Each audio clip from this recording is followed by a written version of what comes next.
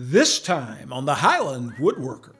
I do a lot of traditional furniture. Um, I'll work in different styles, but I lean a lot toward, uh, you know, the traditional lines and craftsmanship. And uh, I make a lot of things that I like, honestly. Master furniture maker Daniel Corban gives us a tour of his exceptional handcrafted pieces, then demonstrates how he gets tiger maple to come alive.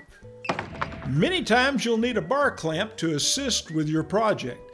But what if you still need more reach? Popular Woodworking Magazine extends a helpful tip. All of this and more, this time on the Highland Woodworker.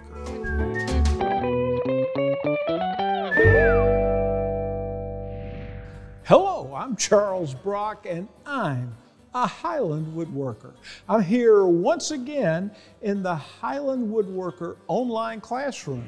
This is where we produce dozens of online classes with world renowned woodworkers and teachers for you to stream on your schedule. For more information about becoming a member, go to highlandwoodworking.com. And while you're there, check out Highland Woodworking's wide selection of the finest woodworking tools available and experience their great customer service since 1978 from their store to your door. Daniel Corban grew up in an artistic household. It was that influence, along with his history major in college, that would come together and lead to a successful career as a self taught, period, and traditional furniture maker. Let's meet Daniel Corban now in our moment with a master.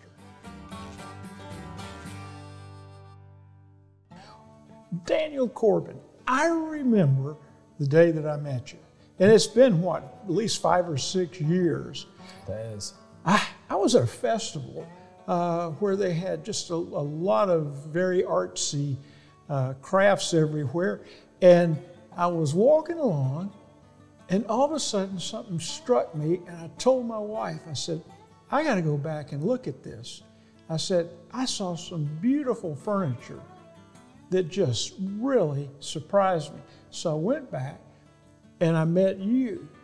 And I tell you what, uh, it just gets better and better. Looks like you do traditional furniture. I do a lot of traditional furniture. Um, I'll work in different styles, but I lean a lot toward, uh, you know, the traditional lines and craftsmanship. And uh, I make a lot of things that I like, honestly. well, I understand. And uh, I think both of us, from our conversations, we found out that uh, we like to go to Williamsburg. Mm-hmm. And there is a, uh, a museum there that influenced you as well as me. Uh, tell everybody about it. Yes, um, I, my mother's side of the family had uh, lived in Williamsburg area, and so we made a lot of trips there when I was a child. Um, we'd go in the summers, and uh, I would be bored with it at the time, but somewhere I think it sunk in. You know, this there was really good work there. It was all around in the colonial area, in the museum that you spoke of, and the wood shop there is phenomenal. Um, and I think uh, without knowing it, probably gained an appreciation for traditional furniture, and uh, you know that came back to be, I think, pretty beneficial later on. So. Sure, yeah. Um, but you're also influenced by, I think, your dad. Is that correct? Yes, uh, my father uh, is an artist. He paints, uh, does oil paintings, watercolors, that sort of thing. Um, and so I grew up with an appreciation for handwork and you know the time that it takes, uh, and uh, just a real appreciation for art in general. We would make it to different museums, probably just a little more than average, and uh, so I think that uh, influence did come through. What was the first thing that you built that you went out and showed everybody and said, "Hey, look, I did this"? Um, probably it would be a uh, shaker end table. It's just a little square end table with uh, tapered legs. Um, I remember that. I saw an article in a magazine and I thought, that's pretty, I could use that. That doesn't look too intimidating. Mm-hmm. So I studied up and um, I tapered the legs with a jigsaw, which I wouldn't recommend to anybody, but I kind of had the bug. I wanted to build things. Yeah. And uh, so I got them smoothed down to where they were manageable and, um, you know, made it out of cherry. And I've still got it. It's in my house. It's a little worse for the wear, but. uh, this is just some phenomenal work. Um, now, this piece is not for everybody. No, no, I would think not. Um, uh, the first one of these I made was a custom order. Um, mm-hmm. I had done a show similar to the one uh, where we met, mm-hmm. and uh, had a customer that wanted uh, a chair like this to give to her husband as a gift, and I thought, well, they'll want mahogany, you know. Uh, would be a traditional choice. And she said, first thing she said, I don't want mahogany. I said, what do you want? She yeah. said, I like the tiger maple stuff you have. And yeah, that piece got a lot of attention, honestly, in the photos and that sort of thing. So right. I've continued on with those. Tell us about how it's made. It's uh, yeah, it's really traditional um, in most aspects. The um, it's all mortise and tenon uh, joinery, um, and uh, the the seat is a woven rush seat.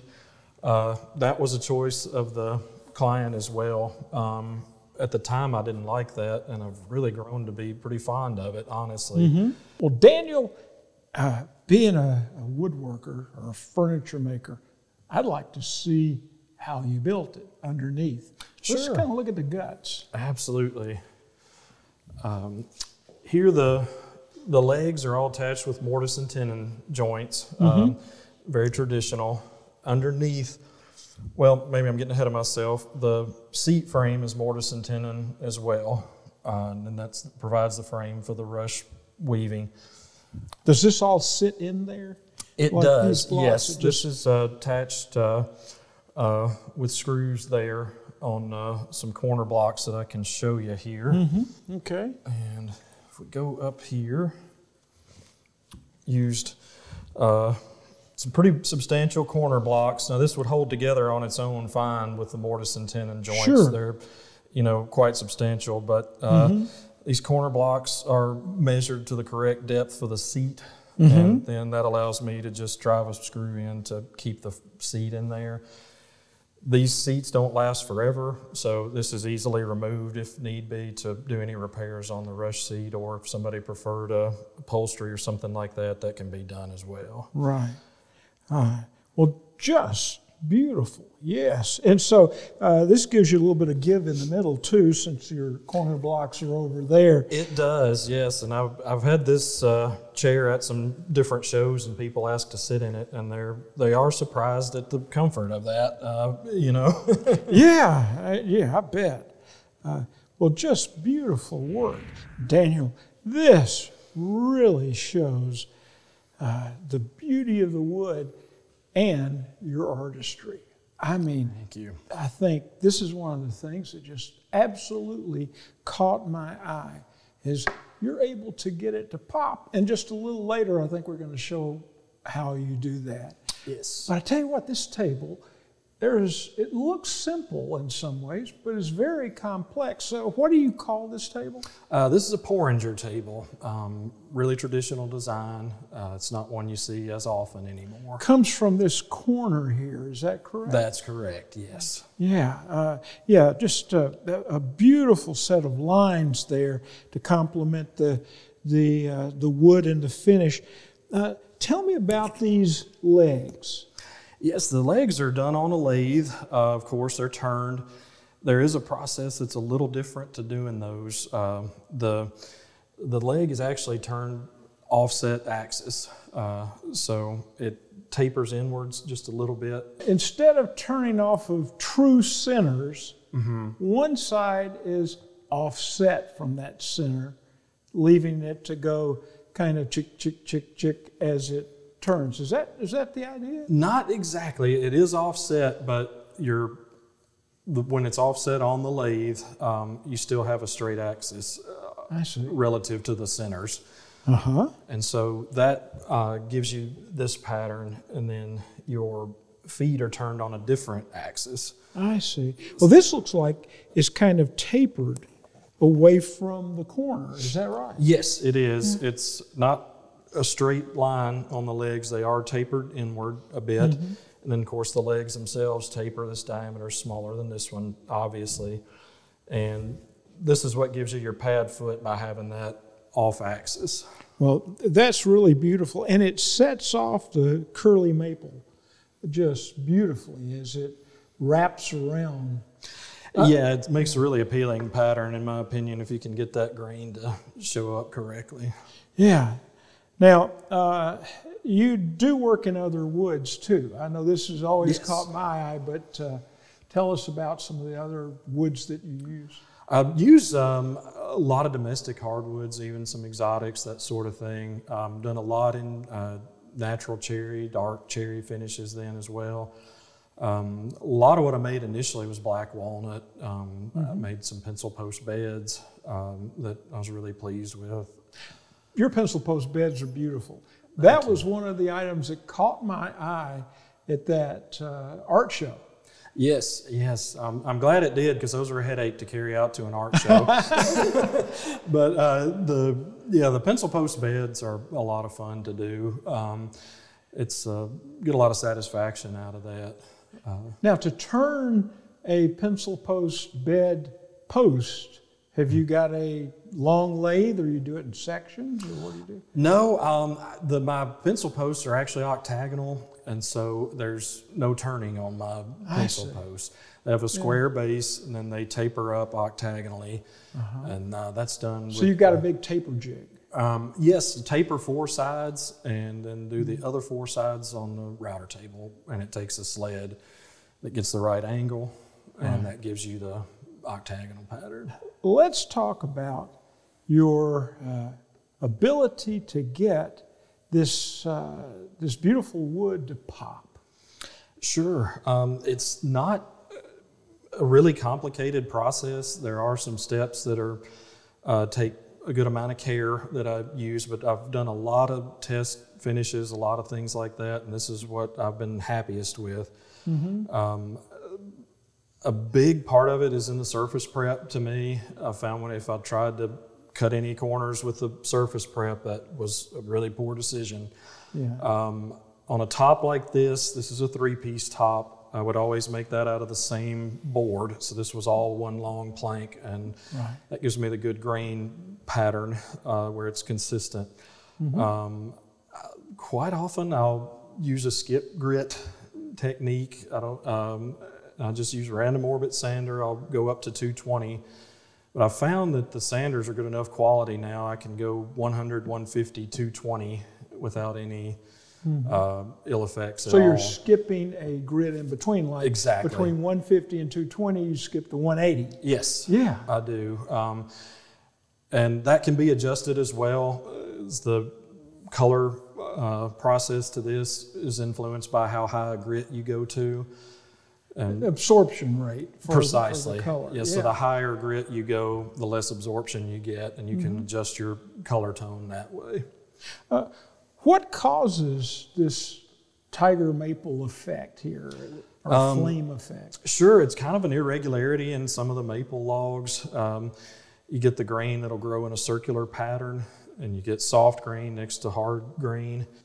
And So that's the difference here: is you got soft and hard, soft and hard, and uh, and it's going uh, horizontally uh, or a 90 degree angle to the long grain. correct. Well, Daniel, uh, you've got quite a career ahead of you as a furniture maker. Uh, what would you like for people to remember or think about Daniel Corban Furniture? Well, I hope people enjoy my work. You know, if it's something that brightens their day to see something uh, that's well crafted, you know, and just to have something to admire in their homes.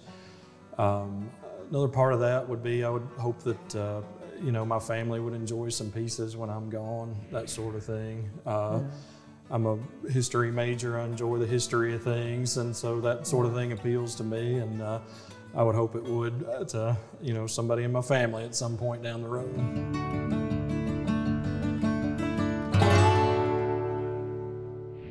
Later in the show, Daniel Corban shares his secret to a fine finish. Plus, The Big Squeeze. Popular Woodworking magazine broadens our knowledge about bar clamp extensions in their tips, tricks, and techniques segment. Stay with us. You're watching The Highland Woodworker. I'm just an average, down to earth woodworker. On a scale of 1 to 10, I'm probably about a 5. But one place I score a perfect 10 is right here, and I plan on keeping all 10. That's why I have a SawStop table saw. And there's more. Plenty of power, superior dust collection, and absolute accuracy. These features have made it the best selling cabinet saw in America. Let Highland Woodworking help you put a SawStop in your shop. Whiteside Machine Company has been in business for over 30 years providing customers with quality router bits. Fine Woodworking magazine has declared Whiteside router bits best overall and best value when compared against 17 other brands. No matter the router application, they have the type and profile of carbide router bit you need. When you put a Whiteside router bit to work in your shop, it is guaranteed to make you smile.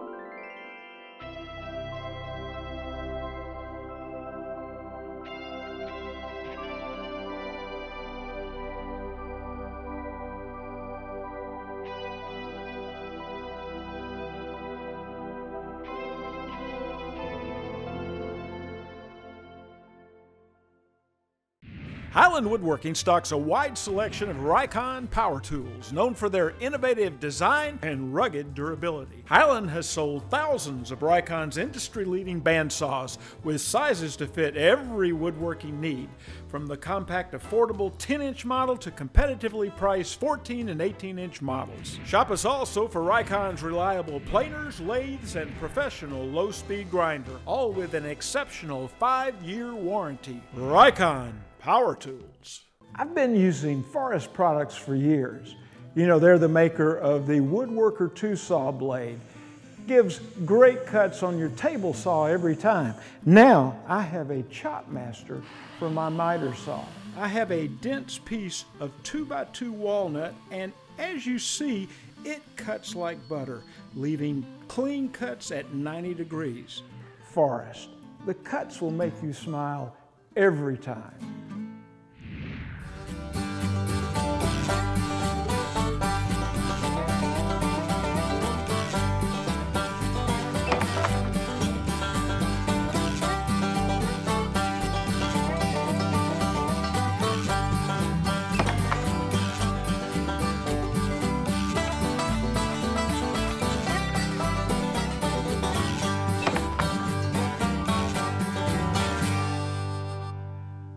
We all know that woodworker's old adage that you can never have too many clamps. But what happens when you need clamps that are bigger than what you have? Well, we have a great reader's tip here that we actually use in our shop here at the magazine quite often. Let me show them to you.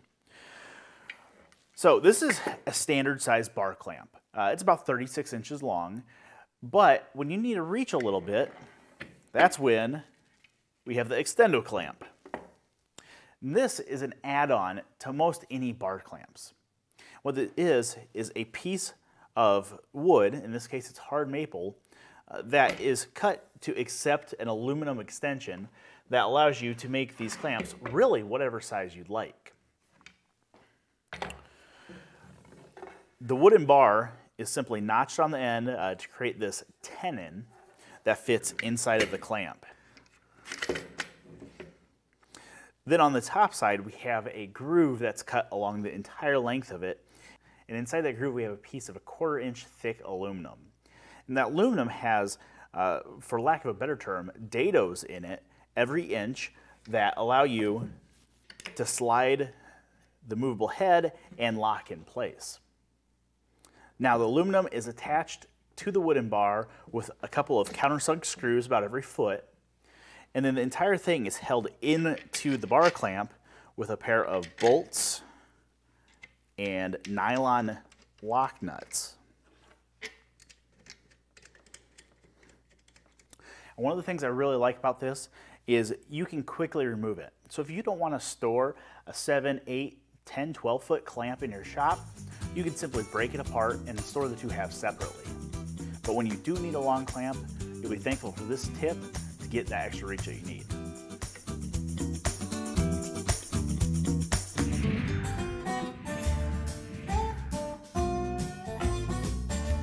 The problem is, many times I need to cut a small uh, strip of wood off of a block of material like this. Well,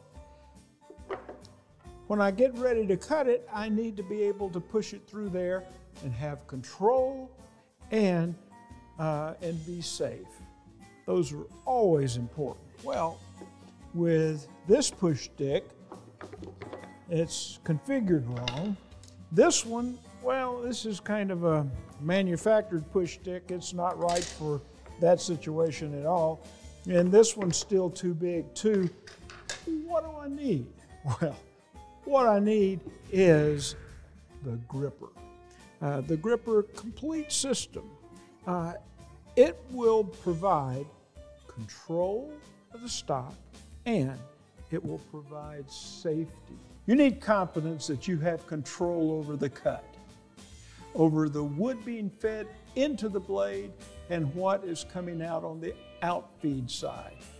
You want to do it all without worrying about getting your fingers in the table saw blade and without having to reach around the blade finally at the end of the cut. The GRR-Ripper will get you a grip on safety and control at the table saw by keeping pressure on the workpiece, keeping the pressure down and against the fence. It adapts easily uh, from cutting thin stock at an eighth of an inch to wide panels if you're using double grippers. I think it's best to start with the complete GRR-Ripper system that I'm showing here and consider the GRR-Ripper accessories to suit the projects that you do. And it makes a great gift for any woodworker, one that will keep woodworking safe and make everyone smile.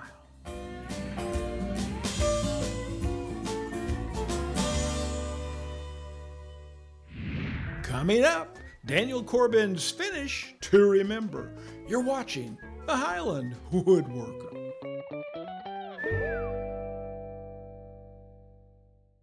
Meet the Bora Centipede, the lightweight and portable workshop table that supports up to 3,000 pounds, stores in a small space for tight shops, and opens into a work table to bring your work to a comfortable height. This makes the perfect companion for your track saw. Comes with X cups and hold downs to secure your work. Just add the Bora workbench top and you've got a great auxiliary table anywhere in your shop. Upgrade your shop today.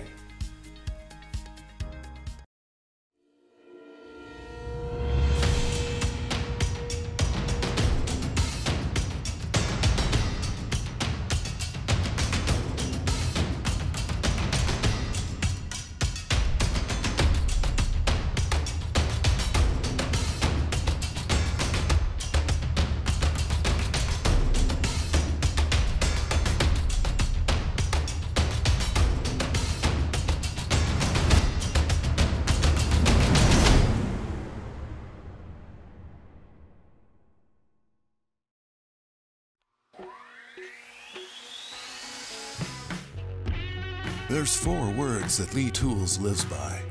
Four words that mean quality joinery to take your projects to the next level. Whether it's dovetails, box joints, or mortise and tenon. And we'll even help you clean up. Those four words better tools, better results.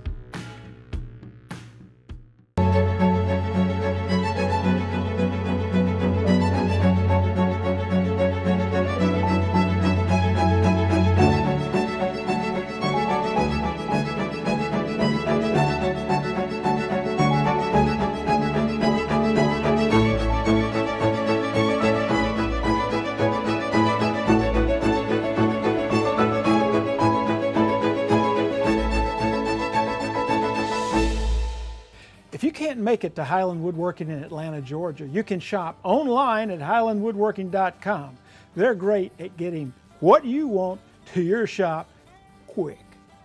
Let Highland's legendary wood slicer resaw blade help make it easy for you to get great results sawing thick lumber into thinner boards. The wood slicer is designed to cut much faster, smoother, and quieter than ordinary bandsaw blades. You'll be amazed at how smooth a surface you'll get with a wood slicer. Its variable tooth pattern greatly reduces noise and vibration. Order a wood slicer from Highland Woodworking for your bandsaw today. Daniel, you're going to show us how to get this tiger maple or flame effect just to pop. Yes, sir. It's the same finish that I use on the pieces that we've looked at. Um, I use an aniline dye. Uh, I use a water-based, uh, which a lot of people don't like. There are some ups and downs with that, but uh, it can be used very effectively. I think um, the problems can be solved with that. when I've tried uh, water dyes before, I get this real flat look. Yes, definitely. And I brought a couple pieces that kind Yeah. of illustrate that. Um, one of the main problems with a water-based stain is going to be it raises the grain. Um, and there's a few steps you're going to take to offset that effect. Yeah, that's the flat look. Yes, that is a piece that's been prepped and it's got an aniline dye on it with no top coat.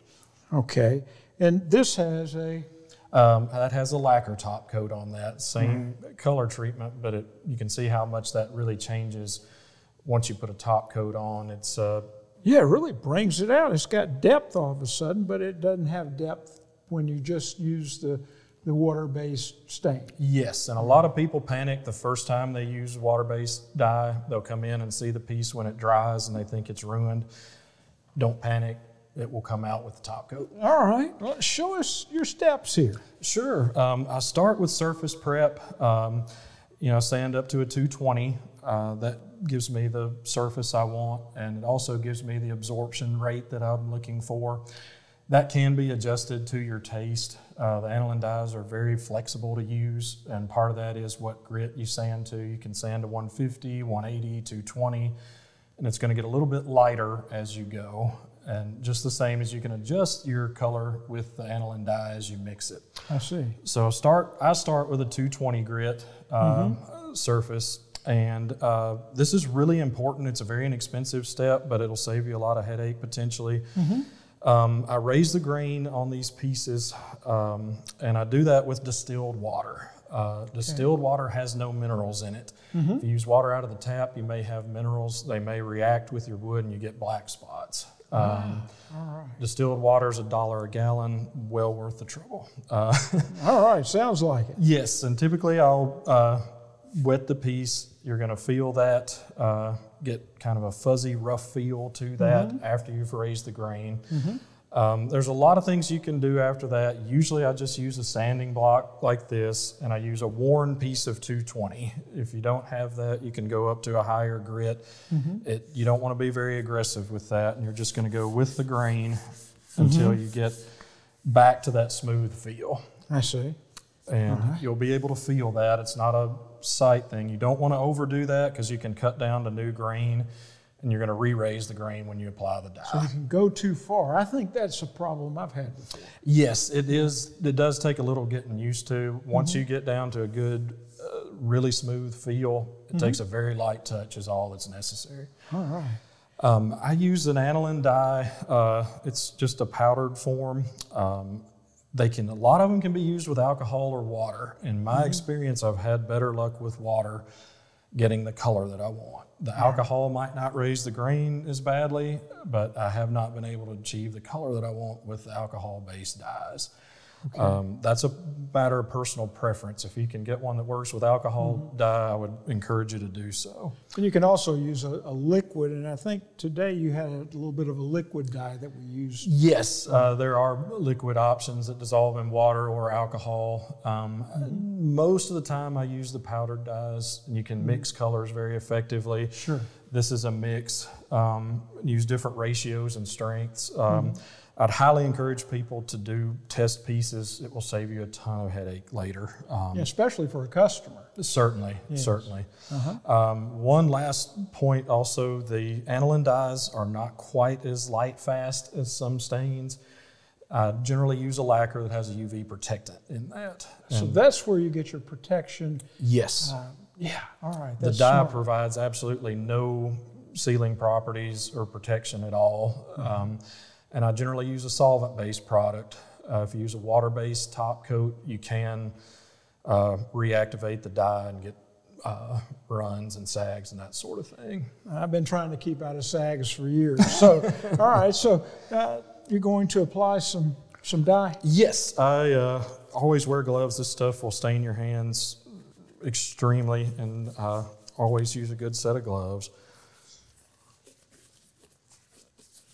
And these are nothing fancy. I just get the nylon gloves from the big box store. There you go. And there are several ways you can do this. Some people prefer to flood the surface with a spray bottle or a sprayer and wipe the excess off. Uh, That's a good method. I actually prefer to get a damp uh, cloth that's just dry, old t shirt material, works great. Right. And uh, get that in your dye. It's very concentrated. And you want to keep a wet edge with this. And you don't want to over wipe on this. This will get lap marks um, easily. And so, something in that neighborhood is really all you need to do. I see. You can let that sit um, for several minutes, four or five minutes. If there's any excess, just wipe that clean and you're set. Yeah. Uh, that needs to dry for 24 hours minimum before you get a top coat on there. Uh, you don't want it to dry and have the water um, form condensation under your film finish. I that can ruin a finish. Yeah. Um, fast forward to tomorrow. All right, here we are. Yes. Uh, get saw the, the sun go down and came back up. And so now, this is going to dry to be uh, similar to this. okay. Now, we did raise our grain previously. It's going to raise it a bit again, Mm-hmm. no matter how good you are. I use the same Warren 220 block. Warren 220. Warren, Yes. yes. I've found even using a really high grit that's a fresh Mm-hmm. piece, it cuts through to your wood, and it's, that's really hard to repair with dye. It's I not see. too forgiving. Yeah. And so you can go over that just very gently, and just the weight of the block is almost enough to take the fuzz off. And again, you'll be able to feel that difference when you get to the point. Mm-hmm. Um, it'll be fairly obvious. Wow. All right. And uh, also illustrated on this piece, um, the nature of the wood matters a lot, how absorbent it is.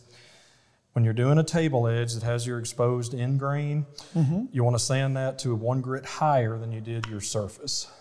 I see, because the absorption rate is Yes. different on end grain than, yes. And I prepared this piece to intentionally try to show uh, how much darker that is. These are sanded to the same uh, grit, but you have a pretty noticeable contrast between the top and the side. So if you go up one more grit, you're going to blend in much better with an aniline dye. All right, wonderful, wonderful information.